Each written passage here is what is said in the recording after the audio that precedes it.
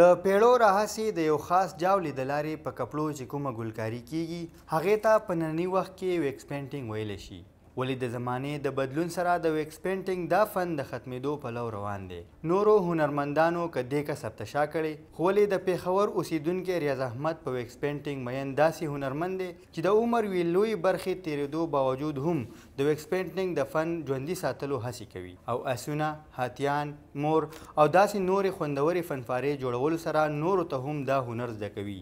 نو دا ټیوریزم او آرکیالوجی دوی چه دی نو دواړه ادارو چه دی نو مونږ د پاره ډیر بهتر سوچ وکړو او ډیر خیال هم ساتی او زما دا نن دریم کال شروع شو زه دلته چه دی نو د ماشومانو لا ټریننګ ورکوم او هغوی دا کارونه دی کې دا فیمیل هم دی میل هم دی. ریاض احمد که یو خوا تاریخي ګورګټلۍ کې د کلتور د محکمې په ملاتړ د هنرمندانو لپاره جوړ شوي ځای آرټیسن ویلج کې کار کوي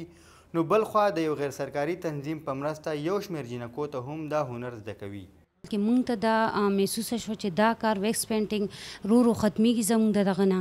او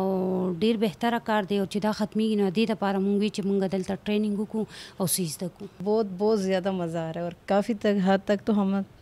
سیکھ ګئے هې انشاءالله آګې بهی سیکھ لیں ګې.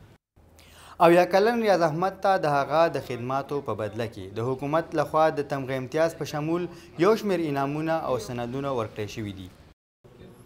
پېښور کې یو شمېر کلتوري هنرونه په ختمېدو دي، ولې ریاض احمد د خپل کسب ژوندي ساتلو لپاره خپل ژوند وقف کړی دی. د کېمره مېن فرخ ظفر سره محمد ارشاد، مشرق ټي وي، پېښور.